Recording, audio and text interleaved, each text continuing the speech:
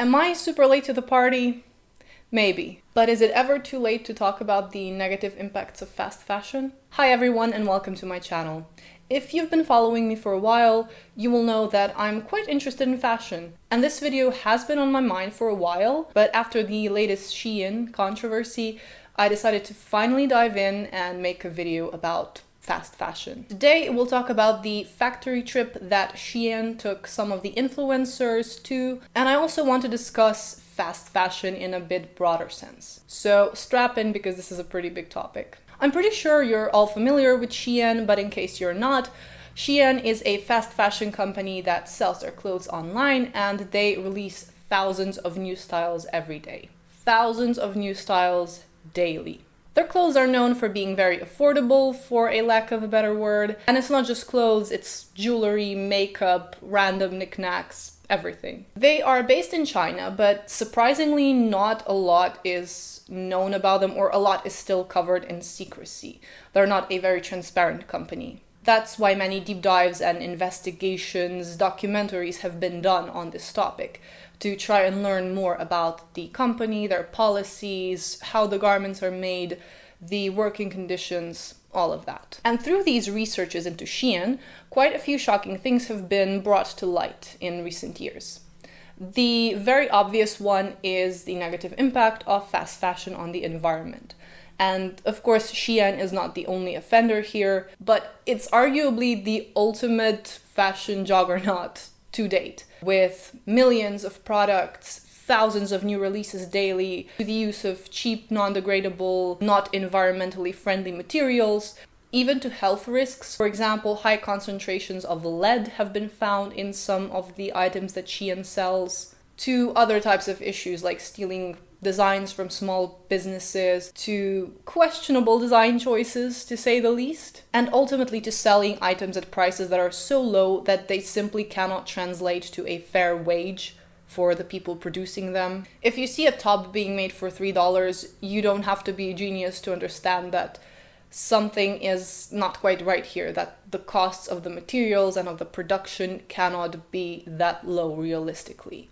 The math is not adding up somewhere in that chain, serious cuts have to be made to be able to produce a top for a dollar, for two dollars, for three dollars. And that's what's been revealed in some of these undercover investigations. Shein workers allegedly get paid around 3 cents per item that they make, and they make hundreds of items per day. They work 11 to 12 hours, even much longer, according to some sources, and it's been reported that some are even taking showers and washing their hair during their lunch breaks because of those long, impossible working hours. They only get one day off per month, not per week, per month.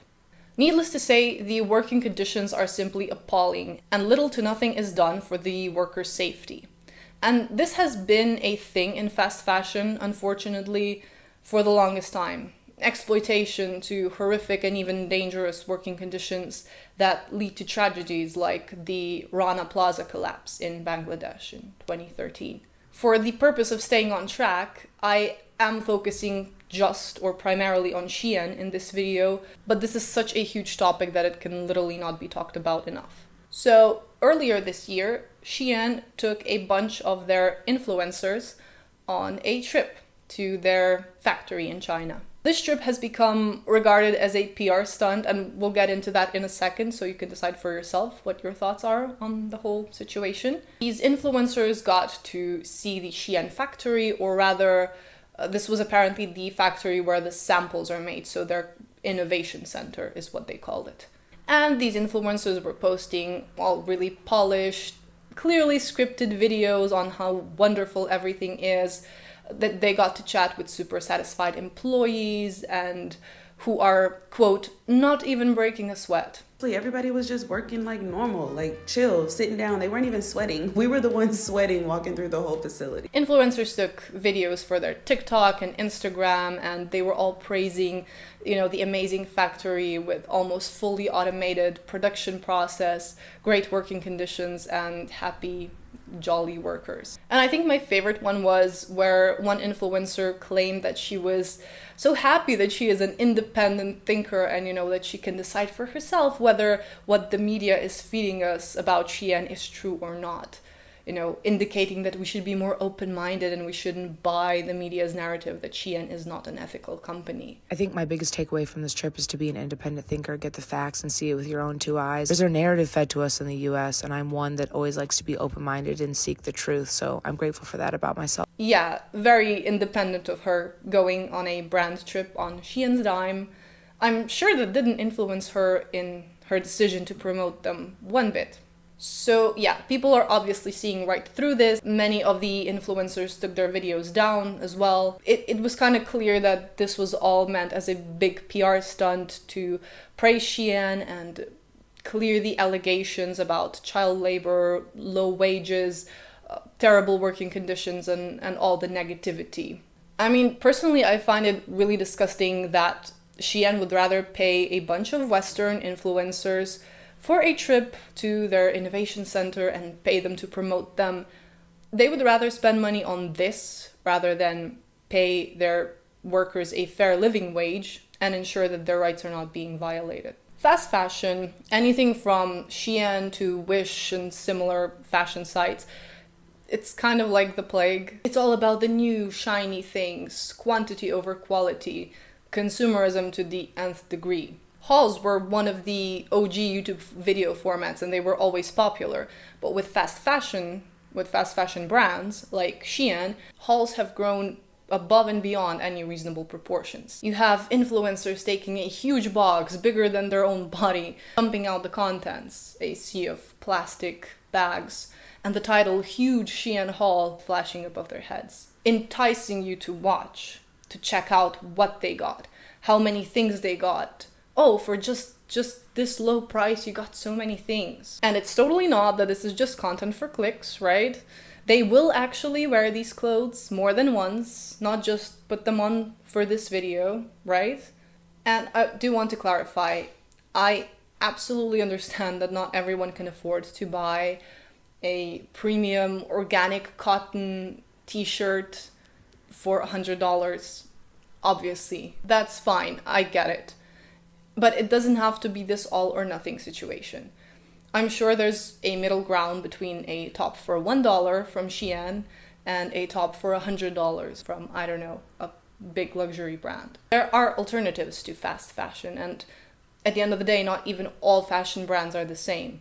It's hard to recognize the nuances, and I don't have all the answers either, but you know, you really don't have to go to the worst of the worst. One alternative, for sure, is thrifting which apparently Shein has also now entered the thrifting market. I mean, okay, it's better than to just throw the clothes away, but how much wear are you going to realistically get from a product like that? And, you know, with all the allegations of lead concentrations in clothes, I don't know. Another problem that I already kind of mentioned is it's very hard to know which brands are really ethical, if any because at the end of the day, even luxury brands like Chanel have been exposed for things like underpaying their workers, which I don't know if anything surprises me at this point. But it really sucks that even high fashion brands only sell us the illusion that they are better, either more ethical or better in quality than regular brands. Which may be true in some cases or to, to some degree, but it's definitely not a necessity. There's clearly a lot of issues even with luxury higher end brands. Do let me know if you are familiar with any ethical brand. I personally don't really know if there's any brand that I would be comfortable vouching for 100%. I do, for example, know that a YouTuber, Justine Leconte, has her own fashion brand. Um, she sells clothing and jewelry. Uh, she's a fashion YouTuber, so she puts an emphasis on the ethical production of her garments. So materials are sourced in Europe and the garments are made in Europe, you know, fair payment and all of that. She's really big on this, which I find really cool. I don't know about the quality of her brand or anything. I haven't tried her products myself. I just know that they exist and I'm bringing it up because I think it's it's a cool thing. And I believe that depending on the product that you're after, it can also be a nice idea to support a local or online small business, you know, craftsmen. The price will likely creep up, yes, so there's that.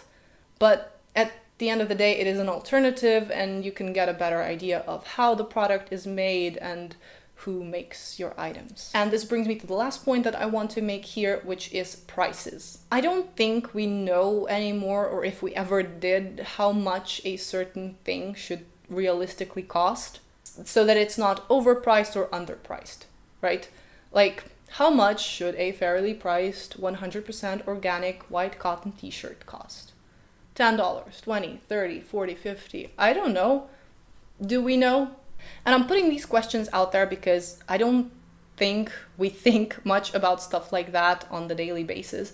And fair enough, with all the things to do in a day and more important things to do, I wouldn't expect your average Joe to go research about a fair price for every t shirt that they buy and every pair of jeans that they buy and the history of the brand that they purchase from. But I do think it's a step in the right direction to be more mindful of what we're buying, how much we're buying, and part of the problem with fast fashion are not people who buy one or two items because they can't afford something more expensive. The problem is unnecessary overconsumption. And that's what brands like Shein target. People who have the money to purchase something else, but who can be enticed to spend $100 on a box of plastic trash instead of purchasing one or two better quality items from somewhere else. At the end of the day, you'll get more long term profit from a quality product that will last you much longer.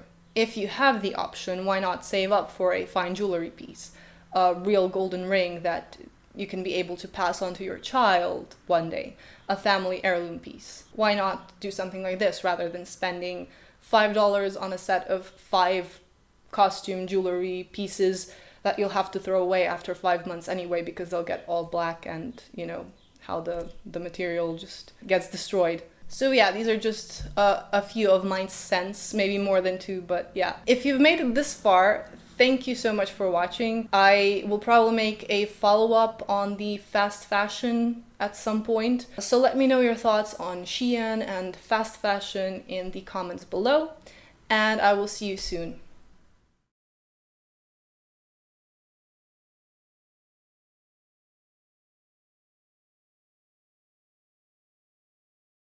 happy, jolly workers.